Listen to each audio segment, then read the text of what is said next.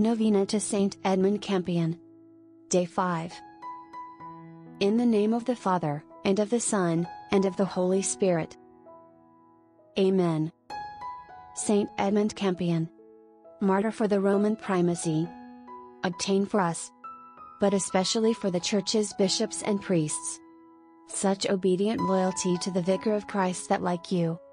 They will not be afraid to proclaim the truth and like you. They will be willing to shed their blood for Jesus Christ.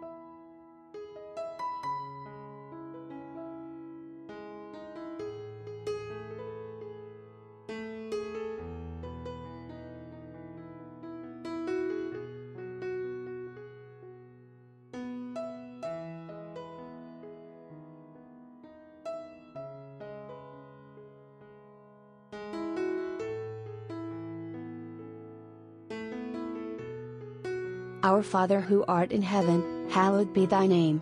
Thy kingdom come. Thy will be done on earth as it is in heaven. Give us this day our daily bread, and forgive us our trespasses, as we forgive those who trespass against us, and lead us not into temptation, but deliver us from evil. Amen. Hail Mary, full of grace, the Lord is with thee, blessed art thou among women, and blessed is the fruit of thy womb, Jesus. Holy Mary, Mother of God, pray for us sinners, now and at the hour of our death. Amen.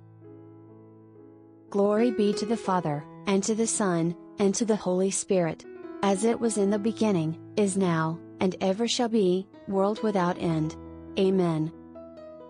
In the name of the Father, and of the Son, and of the Holy Spirit. Amen.